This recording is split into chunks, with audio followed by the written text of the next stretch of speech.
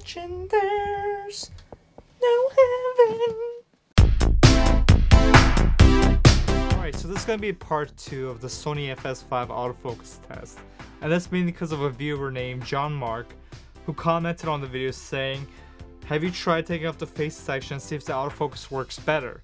And then he followed it up with, I own two Sony FS5s and one of them have the Metabones Speed Booster Cine and for some reason without the face detection autofocus is pretty fast.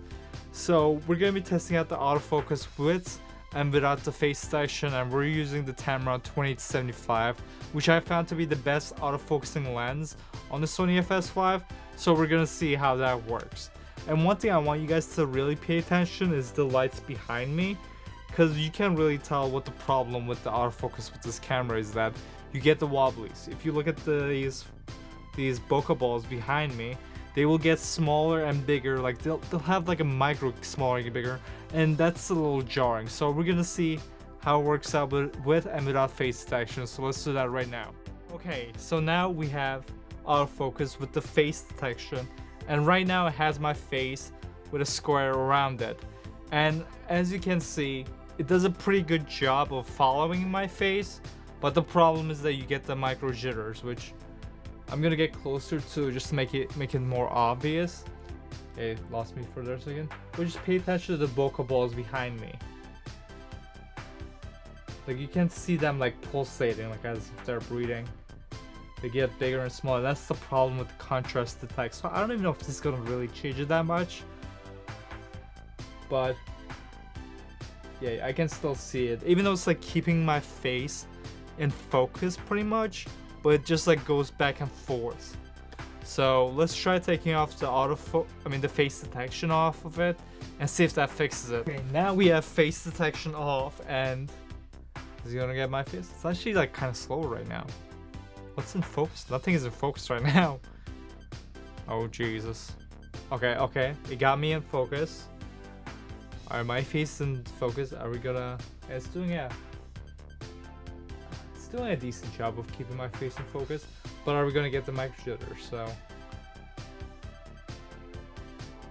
honestly, it doesn't look like we're getting them. That fix it? Oh my god. Maybe that was the problem all along. Maybe this camera does have usable autofocus. That looks pretty fine to me. In post, I will know for sure if it's working fine.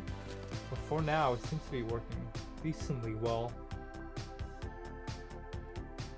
Yeah, I'm not really seeing any pulsating.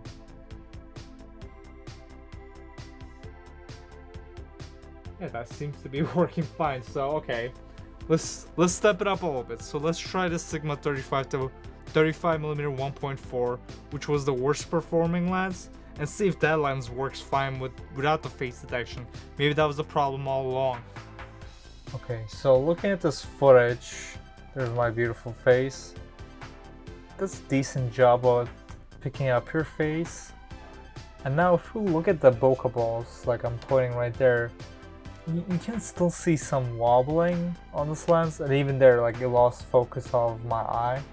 But we're shooting at f1.4, so it's a little bit more harder to do. But honestly, does a pretty decent job. Like compared to what it was with the face detection, this is a lot better. As you can see, there there is a little bit of wobblies I'm seeing right now. Yeah. But now we, while we have it focused, honestly, with this lens, I still wouldn't use autofocus. But if you have to, it's not too bad. It's def it's def you still definitely get the wobblies, but definitely not as much if you were using face detection. Because while I was using face detection, this lens was pretty much unusable with autofocus. So John Mark, I gotta thank you because this is a great suggestion. If you're using a Sony FS5, definitely turn off the face detection because it makes the autofocus unusable. But if you need to use autofocus, I think turning off face detection works pretty great, especially on the Tamron 2875.